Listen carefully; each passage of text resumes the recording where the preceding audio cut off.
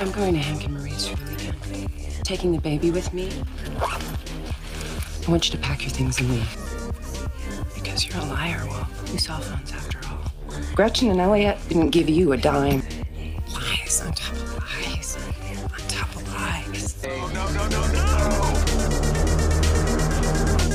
If you don't know who I am, then maybe your best course would be to tread lightly.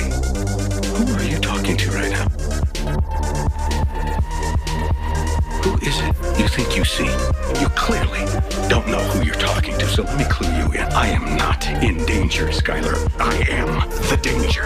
A guy opens his door and gets shot, and you think that of me. No. I am the one who knocks